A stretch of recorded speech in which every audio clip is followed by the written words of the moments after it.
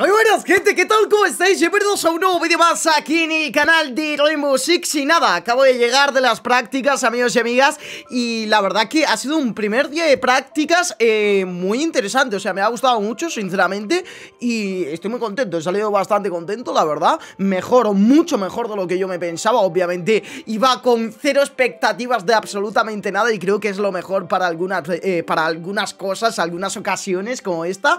Y la verdad que... Mm, o sea, muy bien, salgo contento. Pero bueno, eso es lo de menos. Eso, por cierto, lo estaremos comentando en Twitch Porque cuando estéis viendo este directo Muy probablemente haga un directo en Twitch No sé cuánto tiempo, de 2-3 horas aproximadamente. Me apetece hablar con vosotros, me apetece jugar a R6 Así que cuando estéis viendo este, este vídeo Que se acaba de publicar muy, muy probablemente esté en directo en Twitch ¿Vale? Así que todo el mundo que se quiera pasar a saludar Pues que se pase porque estaremos por ahí jugando. Básicamente, amigos y amigas, como bien estáis viendo en pantalla Esto oficial, esto es algo que se ha hecho oficial hace cuestión de 30 minutos, 40 minutos cuando estoy grabando esto.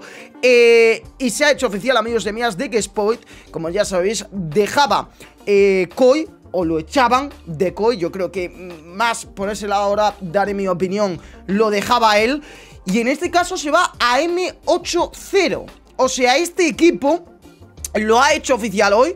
Eh, Lo ha hecho oficial hoy. O sea, Spot pasa a formar parte del equipo de M80 Que quiero preguntaros eh, si realmente lo conocéis alguno. O sea, me gustaría saber si alguien abajo en los comentarios Es capaz en este caso de, decirme eh, Si son buenos o no esta gente de, de M80 en R6 o sin más, la verdad. También se han llevado a un chaval de Astralis em, que nos ganó. De hecho, creo que fue incluso el último chaval que se quedó en uno para uno contra Leon en esa partida que eh, perdimos en el mapa de... Mm, y que nos dejó fuera, obviamente, en el mapa de frontera, si mal no recuerdo. Eh, donde nos quedamos 1-1, Iconic, aquí lo vemos. Y nada, se han llevado estos dos jugadores, tanto Spoit como Iconic, la verdad. Eh, es interesante como un equipo tan poco conocido, entre comillas, o eso creo yo, es capaz de llevarse a, yo creo, uno de los mejores jugadores del mundo a día de hoy, de Hero 6, eh, hablando mm, de manera o forma profesional, o sea, es increíble eh, cuando se filtró que, eh, que Spoit podía existir la posibilidad de que dejase Koi, la verdad me sorprendió bastante y sinceramente no me lo esperaba. O sea, eh, Spoit, perdón, había sido el mejor jugador de Koi en este Sitch Invitational con, diferencia. También estaba Crane, también estaba, eh, ¿cómo se llama el chico este? Pick o Speak o algo así. Eh, se habían sacado la polla esos tres jugadores y la verdad que habían jugado bastante bien ellos tres.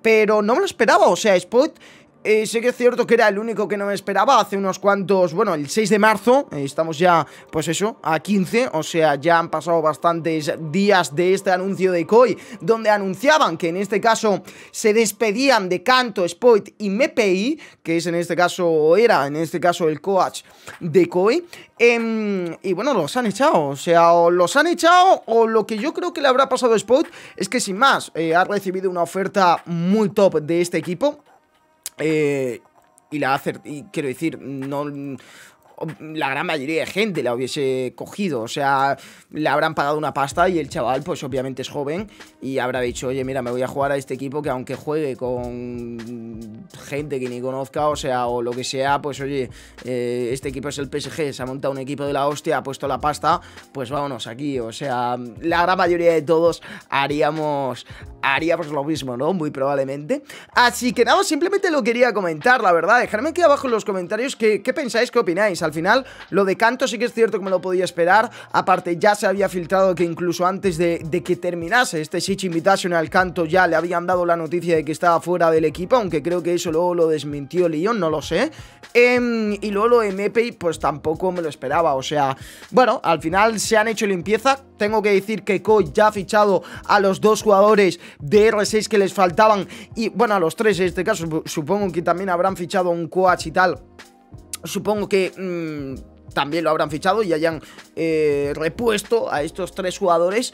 De hecho, ya están compitiendo, o sea, ya están compitiendo en R6, no sé en qué competición, porque la verdad que estoy un poco desconectado, pero sí que es cierto que ya están compitiendo, ya están jugando y de hecho los dos partidos que llevan jugados con esta plantilla de, en este caso, los jugadores que ya estaban, más los dos que han llegado, Em, pues la verdad, eh, creo que llevan jugados dos partidos y los dos los han perdido. Así que, pues oye, no tengo mucha idea. No tengo mucha idea de cómo está Koi a día de hoy en Hero 6. La verdad, no sé ni en qué competición están jugando, ni qué están jugando. Pero sí que es cierto que he visto por Twitch y tal, de que hace ya unos cuantos días llevan compitiendo en Hero 6. Han empezado una competición y de momento los dos partidos creo que llevan en los dos que los han perdido. Así que, pues eso, la verdad, no tengo ni idea. Gente, dejadme abajo en los eh, comentarios opiniones, qué pensáis, qué opináis que Spoit se haya ido a M80, un equipo que sinceramente no conocía. Así que nada, un placer como siempre, like, suscripción se agradece y muy probablemente cuando estéis viendo este vídeo, como digo,